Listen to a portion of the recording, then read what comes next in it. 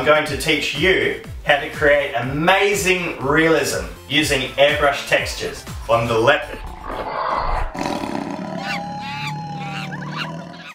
The first thing we're going to do is we're going to add white into our airbrush and we're going to thin it out at around 15%. Now come on, let's have some fun.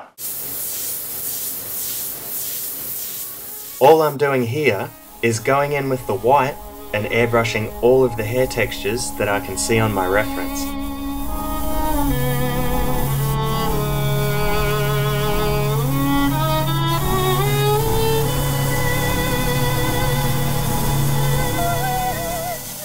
Here's one common problem that I get and you may also get when airbrushing. It's called free flowing. It's when you're painting and the paint decides it wants to come out by itself without you pulling the trigger back. Because something is stuck in the tip of your airbrush. Don't panic, it's an easy fix. Just going to loosen my needle chuck, hold down on the trigger and give it one or two good flushes. Problem solved.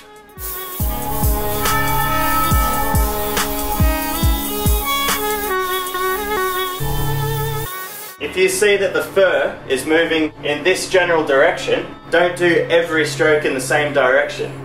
You want to create that direction with some strokes going this way and some strokes going that way.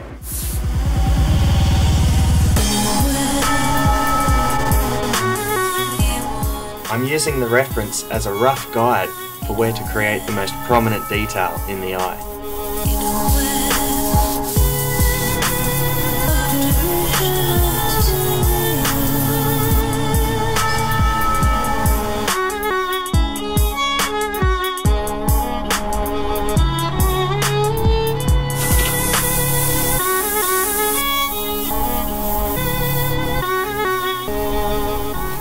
When you're adding your airbrush texture with the white, don't feel that you have to cover everything, you really don't. In areas such as this, use the shapes that are already there as a guide for where to put the white paint.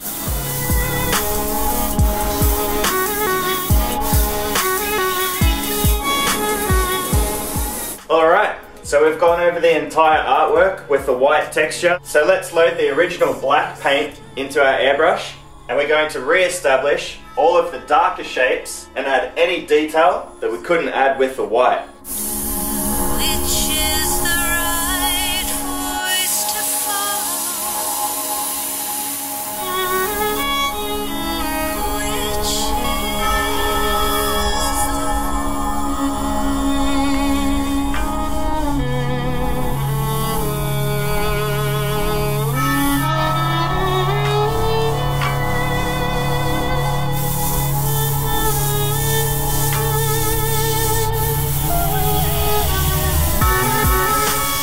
Looking pretty good. So as a final step, with our black colour, I'm going to go over the entire artwork and add any textures that I feel are necessary to make it look better.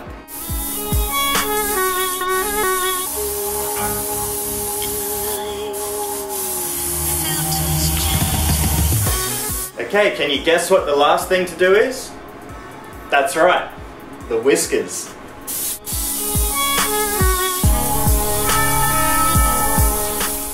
Put a bit of 100% white in there, not thinned down at all, and hit these whiskers in one shot.